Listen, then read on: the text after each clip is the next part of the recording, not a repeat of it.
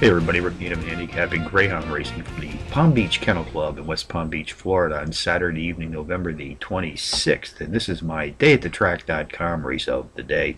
Let's take a look at race 8 this evening, folks. 9 p.m. Eastern Post Time. This is a grade B affair.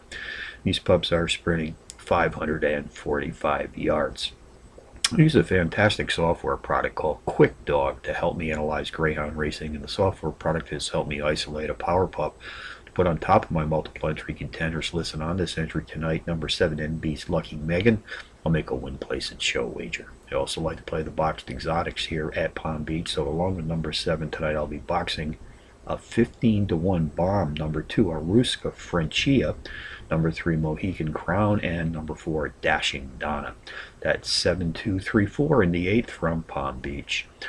QuickDog software has helped me find a pair of very playable Power Pup long shots. Win place and show wagers are suggested on both of these entries. The first comes in race 3, win place and show in a 5 to 1 shot. Number 3, WW is Flame Point.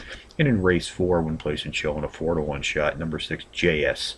Check it out. So from Palm Beach on a Saturday night, Rick Needham for dayatthetrack.com, reminding you as always to please bet with your head, not over it.